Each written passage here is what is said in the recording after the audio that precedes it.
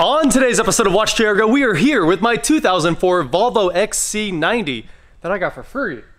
And in the last episode, we fixed the heater core. Oh, there's the old one right there. And now today we have to fix the rest of the cooling system.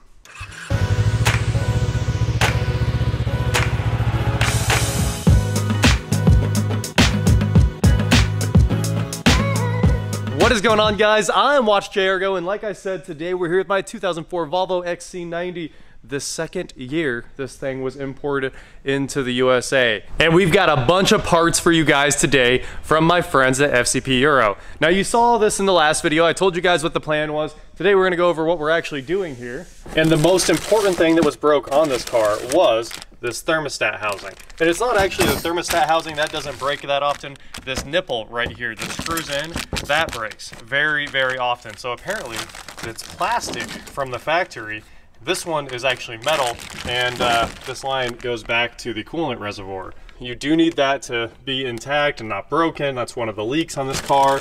We've got new gaskets. We've got a new thermostat. We're gonna change the whole housing uh, except for the outer piece because that's definitely not broken. Uh, I will put links to all of this good stuff in the description below if you need to rebuild your XC90's cooling system. So let's get after it. It's time to get in here and start shredding this thing. Uh, the thermostat housing is straight down underneath the uh, timing belt and the timing uh, pulleys and all that good stuff. So we're going to have to get all of this out of here, power steering reservoir, coolant reservoir. I'm just gonna go ahead and pull all these clamps, get this out of the way. Then we'll be able to actually access this thermostat housing that's just way down inside here. If you look straight down in there where that hole is, that's the broken off nipple for the thermostat housing. And instead of fixing that, I figured we'd just go ahead and replace the thermostat housing, everything while we're in here make it easy and uh, keep it from failing again in the future.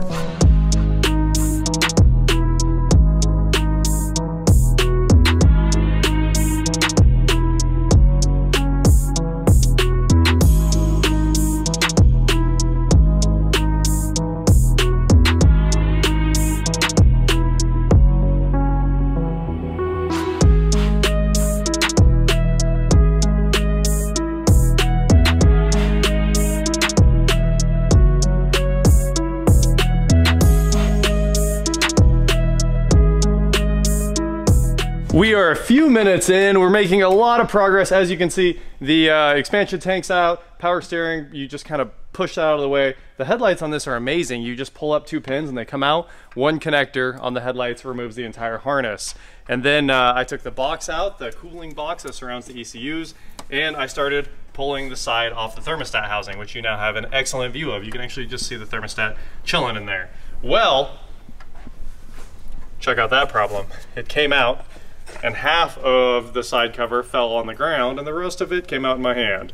So uh, I'm gonna say that's another very, very big leak and we are in trouble because that, I don't have that part and uh, I don't think it's gonna be very easy to get. It didn't even show up in the parts search when I was looking all this up.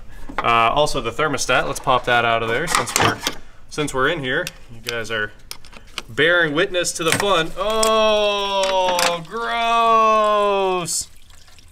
We're gonna need to uh, push this thing out of the way and clean up my mess. I thought that might happen. Anyway, that gasket looks horrible. The thermostat looks horrible. We have a new temp sensor. We have a new housing. We are taking all of this off the engine and making it right. I do think once we uh, throw that new housing on there, this thing will be ready to go. Much nicer than it has been before. Now to get the thermostat housing off, there's, there's quite a bit of work you have to do.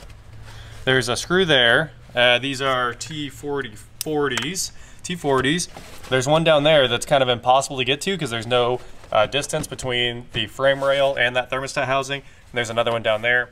You can use a ratchet to get these ones, and I have this one just about out. It's still a ton of work.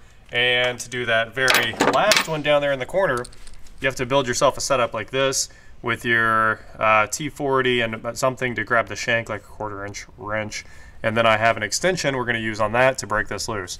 These are insanely tight. No luck getting this on here.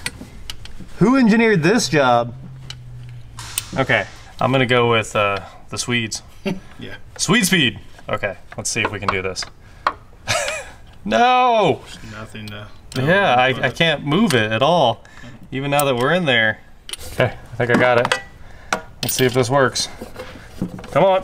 Oh, yeah. All right. Now, I can take out all this nonsense and unscrew that thing by hand. This is gonna take a while, but I think I can get just the bit in there now, twist that thing out, and then go back and get the others out, and then we're gonna pry that thing off of there, and hopefully just swap out the thermostat housing. We are still stuck though without this cover, and I know it's gonna be hard to find one of these covers. So there's four bolts in the actual housing itself. That was the last one. Uh, these were, well, of course this one's not, but they were covered in like RTV or something, which is why they were stuck stuck. And now, let's see, let's see if we can pry this thing out of here without, oh, look, look at that. It just fell right off. No prying necessary. So, this has definitely been changed. And where does it even connect? Wow, this is the connector for that temp sensor. You have to pull the center cover. There is a lot to do to get that out of there. But we got the housing off, which is good. And now we've got a lot of cleaning to do. There's a whole bunch of RTV in there. You can see how just nasty this thing is. It's been replaced. It's been poorly replaced. That's just facts. Um, well, let me get to it. It turns out we do not have that sensor, so I don't need to replace it. I just need to get it out of the old housing, which is, it looks like a 18 millimeter. Crescent. Yeah, this was a, this should have been one of those metric crescent wrenches. That's the right tool for the job.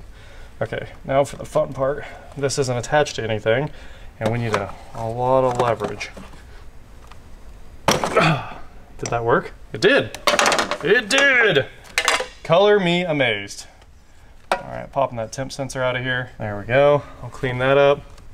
We'll put a little thread sealant on there, put that back together, and then we need to put some thread sealant on our new thermostat housing. Clean out our mess there, clean all that RTV off, and put this thing on. So I do want to thread seal that nipple that screws in, and of course you have to make sure it's oriented correctly, which is what that sensor sensor goes in there, which means this thing sticks out front like that. So, yeah, we're gonna tighten that thing on down, make sure it doesn't leak, and then we can put on our new metal gaskets, put some RTV on this, and have at least part of it wrapped up. All right, we are headed to LKQ. We got the tool bag loaded up over there, and uh, let's go see if we can get one of those covers, a broken cover for the thermostat housing there. That thing's hard to find. All the pictures actually show that it comes with it, uh, but when you order it, apparently it doesn't. As we are out here at LKQ, we got a bag with just a couple tools in it. I figure I can get that thing apart with just the Torx drivers and a 10 millimeter. And uh, honestly, that's about all I brought was a 10 and a straight bit screwdriver so we can pop that housing off. So we are looking for trucks. It said it's in Trucks Row V. I'm sure we got a long way to go to find that thing and then uh, hopefully it's there. Hopefully there's still an engine in this car. Hopefully nobody went after the thermostat housing other than me. Um, I just called Volvo and Volvo told me that the thermostat housing is always sold with that cover. Unfortunately, that's what everything shows on the internet too, but that's not how the Rein part works. So they expect your cover to be intact. We are on the hunt for trucks. These guys are working today. I've actually never seen them in here running this thing before, but that's where their compactor is. It's where they bring the vehicles in over there. They drain all the fluids. And over here is where they crush them and ship them out once they've lived their life cycle in the salvage yard. Jackpot, there's our XC90. Now, tell me it's got an engine. Look how high up that thing is. How are you supposed to work on them when they're seven foot in the air? Tell them to come over here, pick this thing up, put it back down on the ground. Oh, it's got an engine. It's all here. Yeah. I think we just hit the jackpot. This one is nearly cleaner than mine. It looks like it's got a brand new AC condenser in there. Um, or, oh, that's the intercooler. The condenser's right here. And uh, radiator's like looking a little original there. I'm not sure I have that scoop. I might take that. Let's see if there's anything else I need. This one's in just incredible shape. So mine has ants, but this one clearly had mice. You can see the carpet is destroyed Amplifier for the audio looks a little cleaner than mine, which is kind of crazy. Mine's just dirty. Somebody pulled all the electronics out of this thing. It must have had an aftermarket radio. You can see all that amp wiring down in there, that 8 gauge cable. Let's see. Faceplate's gone. The interior of this was wrecked, but the engine was somehow taken care of. Door handles don't work. Time to strip all this plastic out of our way. Volvo did the timing belt on this one. We're almost there. You can see I got the first screw out of the housing. Uh, all the plastic stacked up right there. And guess what? As soon as I tugged on that, the plastic in that uh, little nipple off the thermostat housing snapped right off. So uh, that's got to be really common. And uh, definitely replace that with the metal one if you can. This should be it. I've got the three screws out. That factory gasket looks a lot nicer than that RTV. Hey, all right. The whole thing looks a lot better than mine. Time to get that back out of there now. Ah, look at that.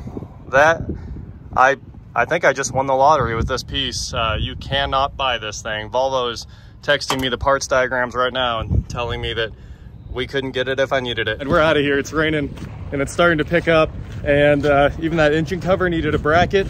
And that bracket is covered up by the turbo systems charge pipes. There's no way I'm getting any of that out of there. Um, so I just had to leave it behind. Everybody's wandering around with uh, window shades over their heads to try to act like umbrellas. $14.87 later, we are headed back to the shop with our unobtainium part, uh, which is, I mean, legit. You have to buy a whole nother housing from Volvo if you want that front cover. And I think they charge like three or 400 for that housing. The Rein part's only like 187 bucks. So uh, I would say if, if that's broken on yours, at first, I hope it's not. And second, find another car you can get one off of. anyway, uh, it didn't cost too terribly much and uh, didn't take too much getting uh, wet in this rainstorm. Luckily, you know, you can just sit under the hood of the car and work on it. And we are headed back to the shop to grab some lunch and put this back together. And we are at O'Reilly's to pick up our RTV. And that should be all we need to finish this thing up. All right, that's all we needed, some uh, water pump RTV, and we are out of here. Thanks, guys. Take care. Back in the shop with my new uh, thermostat housing cover here. We've got our carbide gasket scraper, and this is working pretty well on here. You can see all this old gasket. I say that, and then, okay, it is definitely coming off very quick. So, scraping off all this old junk. I've got the Milwaukee here so we can use the bristle brush, but honestly that bristle brush, it got used on the headliners, it's about done. There's not any bristle left on the brush. So hopefully the carbide scraper gets it. Here is our water pump RTV from O'Reilly's. Open up a brand new thing of it because I obviously, you know, when you need it, you can never find the one that you already had open. So we'll go ahead and pop that guy open there. Lay a bead down. This is gasketed, so I'm sure it doesn't need much RTV. But I'm just gonna go ahead and run the whole sealing surface just kind of like that. Whoever did this before put so much RTV on it. I mean, you guys saw the squeeze out. It was massive. You do not need that much RTV. Now the fun part is when this thermostat housing goes on, that wire for the temp sensor wraps around the thermostat housing and you have to get all of this done at once. So you have to get this gasket on there, you have to get the thermostat housing lined up, you gotta get a bolt in while you're holding all that together and keeping the wires in the back of the housing, which is pretty crazy. I'll try to show this to you right now. The housing's already in there because we plugged in the sensor, or screwed the sensor in. This is where the wire goes, in that trough. So you gotta kind of bend the thing around, work it all in there, like so, and then put the gasket in, and then put this all together. Volvo was like, mechanics? this gets assembled before the engine goes in. So taking this thing apart, uh, we were able to just use a standard socket drive Torx driver and this wrench. Well, now there's really no clearance putting it back together. So I'm using a tiny little T30 driver bit and a quarter inch wrench. And luckily it has like a shank on it. So I can like ratchet it while holding it in with one finger. So that's what's going on right now. It's taking a very long time. I probably have, not to mention getting the wire back behind it since we didn't take the sensor out. I probably have 25, 30 minutes in getting the housing back in. Like that is pure that's what nightmares are made of. Trying to get a wire back in, the gasket goes over the wire, so if you don't get it all done correctly, it doesn't go together. So what I ended up doing was using the RTV to hold the gasket on the engine block, threading the thing through probably 20 times, and then finally getting everything lined up and a screw started, and it's together. I mean, some of this car is very, very well engineered and thought out. This one, they were like, it goes on once when the engine goes in. All right, the last piece of this thermostat puzzle, and we pretty much have this wrapped up except for the new hoses. So I'm putting all the new RTV on here, and uh, we can put the cover on the thermostat housing and put the thermostat itself in, and that knocks out the majority of this cooling system rebuild. The hoses shouldn't take too long. The heater core hoses though, I'm gonna have to lift this thing up and that's gonna be a whole nother day of work after it took all this time to get this housing cover. The thermostat on this is keyed. I'm gonna put the vent up, the little bypass there, and uh, you'll see how it's keyed. It has to go this direction, straight up and down. And then, this is also a lot harder once this little nipple's installed. Okay, so there's our thermostat, all seated. What do you think, Jake? It is a thermostat. Yeah, I agree. That, that should keep therm. I've seen a lot of thermostats in my day, and that definitely is one. Wow, we are experts then. So there's a little retainer nib inside this cover that pushes on the thermostat, keeps it from falling out. And I will just slap that guy on there. Slap chop. Everyone's favorite guy. You'll be slapping your cares away. Uh, I lost the tins that. There's some tin. Ah, found them. I found the tins. Cool. So those three bolts hold that cover on. This is the last thing we are doing on this bad boy today. And a lot of people have been asking me where the gold ratchet has been. You can see this one is a silverish color. And here you can see that it's like a whitish silver color. That's because this is actually a platinum ratchet. We upgraded from the gold ratchet quite a while ago. And I wanted to, you know, kind of test it out. They, they say move in silence. So I wanted to make sure we tested out this ratchet off camera quite a bit. So uh, it works. It's still a ratchet. It has the same teeth as uh, your normal couple dollar ratchet. It is a normal couple dollar ratchet. But uh, yeah, it's platinum, platinum ratchet. Bring me the platinum ratchet! Now that one there is just silver. No big deal. The standard silver coated.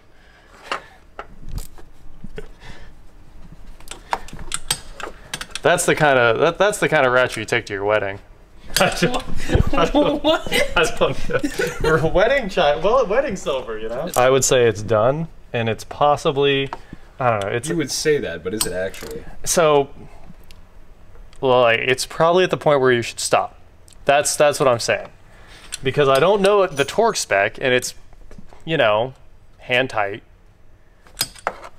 But it is a metal gasket that crushes.